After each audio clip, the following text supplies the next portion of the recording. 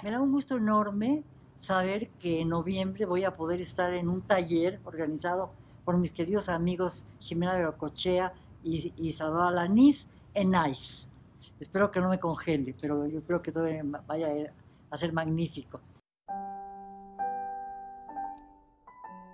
Y voy a hablar sobre una novela mía que se llama El Rastro, en donde hay una serie de interrelaciones entre varias eh, varias disciplinas, entre ellas la música. La música es muy importante y me gustaría hablar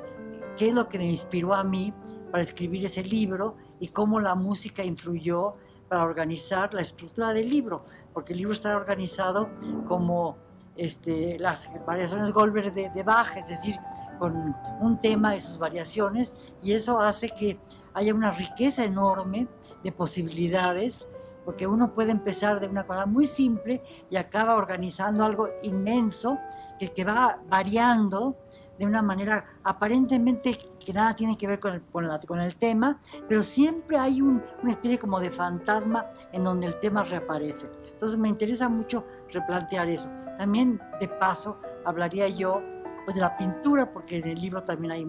problemas de pintura y tú escribiste sobre eso. Y me gustaría también hablar del problema de, del sentimiento eh, y del corazón, porque el personaje eh, principal de la novela es un personaje que muere de un infarto al corazón y he trabajado mucho las relaciones de, del cuerpo vivo con el cuerpo exangüe, es decir, la relación de que en el momento en que el corazón se detiene, ya no circula la sangre y el personaje pierde la circulación y se vuelve exangüe. Entonces, todo ese tipo de cosas me interesa mucho analizarla y espero que en el taller haya intercambio de ideas y que salga algo muy rico. Habíamos pensado también eh, en hacer las apostillas de este libro, porque es un libro, como todos mis libros, que tiene eh, una apertura muy grande y, se, puede, se puede volver un libro interminable, hay que ponerle un punto y final, bueno, en este caso la muerte, que ya más punto final no puede existir, pero este eh, hay la posibilidad de, como en el tema de las variaciones, de llegar a un infinito número de variaciones.